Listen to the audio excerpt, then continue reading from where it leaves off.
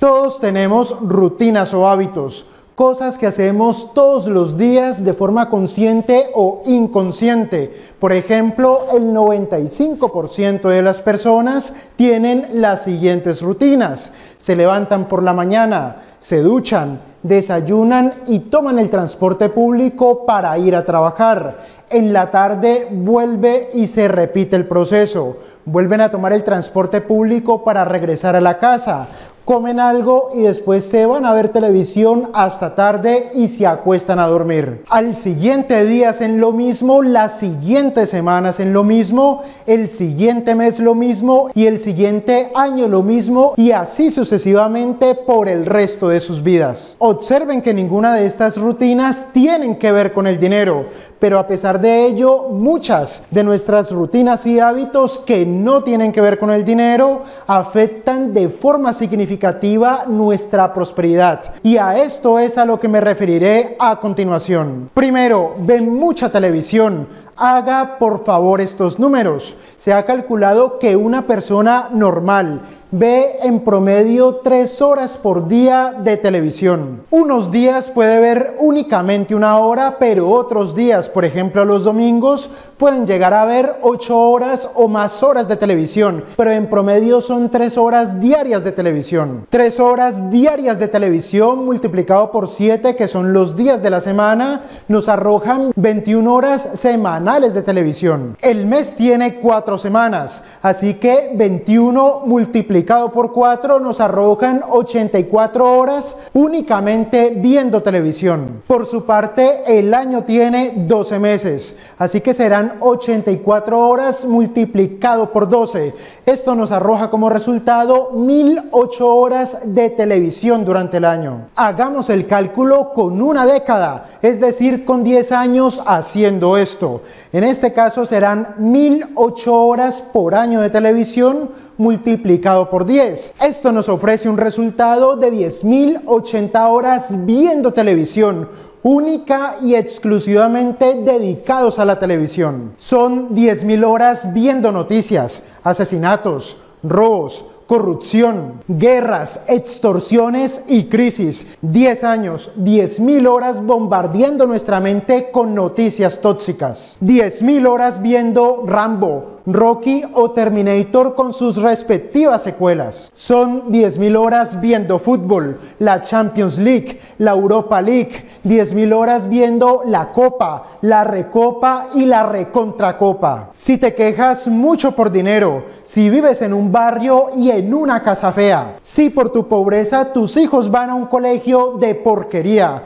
donde se exponen a los malos ejemplos y a los malos vicios desde pequeños, si tu esposa hace cinco años no tiene con qué comprarse unos calzones nuevos y si con todo y eso todavía pasas largas horas viendo televisión con la excusa de querer olvidarte de los problemas, entonces no tienes perdón de Dios. Segundo, duermen demasiado. He tenido la oportunidad de hablar con muchas personas con dificultades financieras que me dicen cosas como lo siguiente, Ángelo, es que mi hobby es dormir y descansar. Y mientras dicen esas tonterías, solo pienso en lo siguiente, vean a este. Y lo único que me provoca hacer es decir que pase el siguiente. Todos tenemos derecho a gustos y hobbies diferentes, pero siempre debemos tener en mente que la pobreza no es producto de la falta de oportunidades, es producto de la suma de horas mal utilizadas. Analice a toda la gente pobre que tiene alrededor suyo.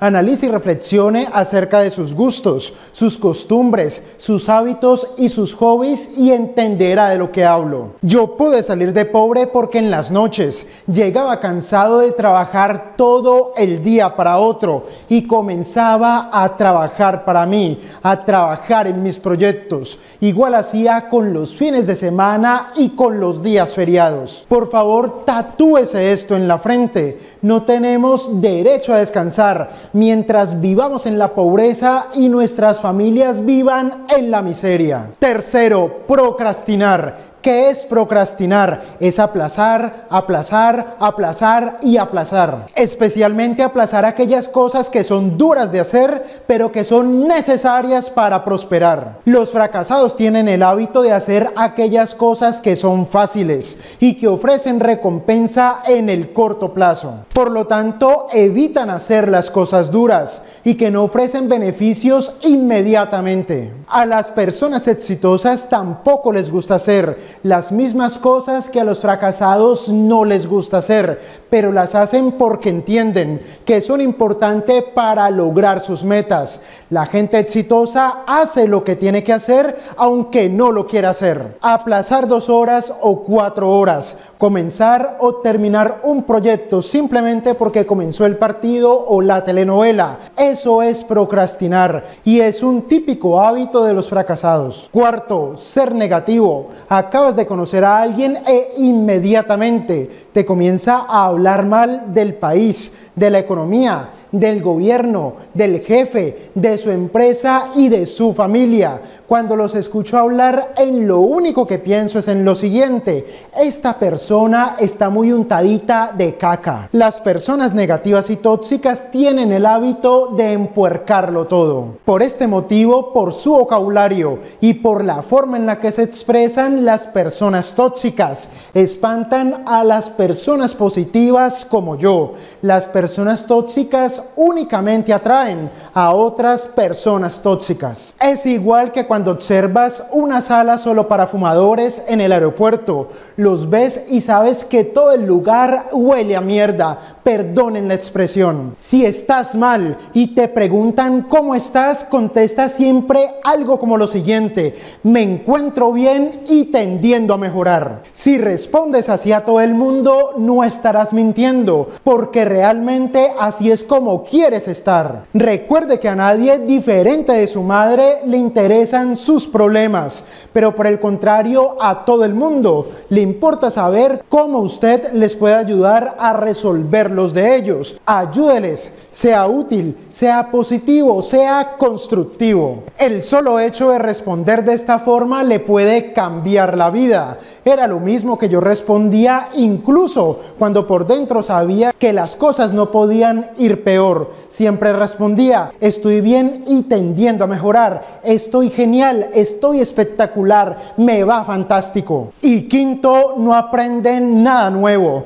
Cuando hablo de aprender me refiero a aquel tipo de conocimiento que tiene un uso práctico, es decir, que nos ayuda a resolver problemas concretos y tangibles y que por lo tanto nos ayuda a aumentar nuestro valor. La gente que lleva 10 años ganando lo mismo es el mismo tipo de gente que lleva 10 años sabiendo lo mismo. Llevan 10 años sin leer libros, sin asistir a seminarios, sin conocer y hacerse amigos de personas que son mejores que ellos. Llevan 10 años sin crecer la mente, sin pensar en algo nuevo y sin hacer algo nuevo. Es el tipo de personas que lleva 10 años sin hacer las preguntas correctas, 10 años actuando como zombies, 10 años como vegetales o como muertos en vida. La felicidad es crecer y si no estás creciendo entonces estás decreciendo. Ya se está terminando septiembre del año 2016 y por lo tanto ya casi terminamos este año.